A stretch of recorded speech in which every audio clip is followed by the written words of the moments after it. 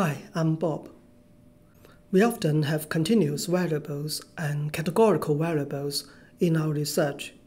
If we are interested in the interaction effect between a continuous variable and a categorical variable on the outcome, we can use the margins plot to visualize the effect. For example, in the dataset for the US workers, we are interested in two variables the log of parents' income and the parents' marital status. The log of parents' income is a continuous variable. It ranges from 74 to 13. The parents' marital status is a categorical variable. It takes on two values, 0 and 1. It's equal to 1 if parents maintained married status during the worker's triquet, zero otherwise. It measures the triquet family structure of the workers. Suppose we are curious about how the parent's income and marital status affect the worker's wages. We regress log wage on log parent income and marital status we add the interaction term between them to investigate the interaction effects. Here is the regression result. To illustrate the interaction effects of the parent's income and marital status on the adult child's wages, we draw the margins plots. There are two ways to visualize the effects. One is to show the predictions of the workers' wages from the model, and to show how the predicted values change with parents' income and marital status. The second way to visualize the result is to draw the marginal effect of each explanatory variable and see how it changes with another variable. Let me show you one by one.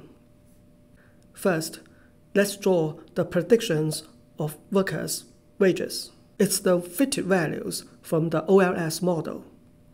We use the margins command to calculate the predictions. We type margins and the option at. Inside the round bracket, we put the range of the parent's income and marital status. Be careful of how many brackets we use. Then we type margins plot. Here's the margins plot, and we can modify the options for the margins plot to make it look better. I add titles for the graph and both axes. I add the grid lines on the x-axis. The color and pattern of the two lines and markers could also be specified. Here we are. We see that the workers' wages are positively correlated with their parents' income.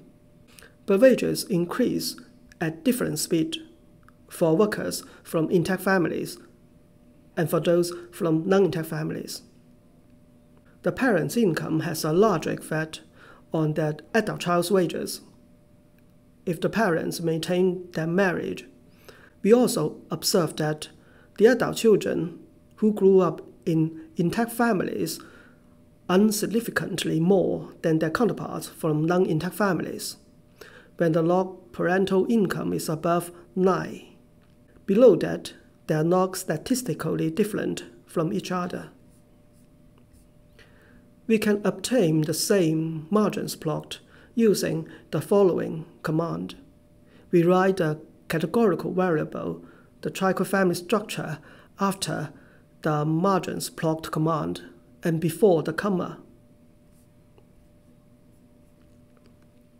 The second way to visualize the interaction effect is to illustrate the marginal effect directly. To do so, we need to use the margins command with the dydx option first. Let's obtain the two marginal effects of parental income on workers' wages for the two triquet family structures. Then we type margins plot. Here's the margins plot for the marginal effects. The graph looks better with titles and without the connecting line.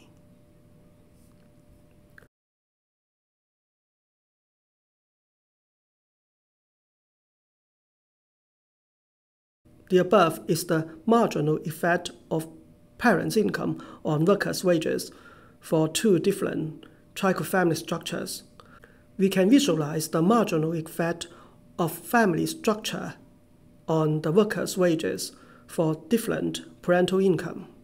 To do that, we write the family structure variable, which is the parent's marital status, inside the dy dx bracket then we use the at option to specify the points to calculate the marginal effects.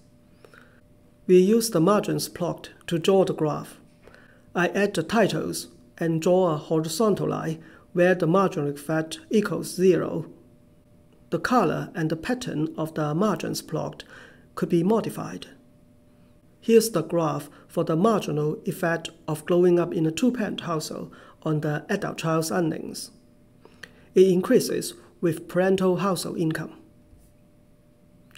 Today's video will conclude the part of graphics using Stata.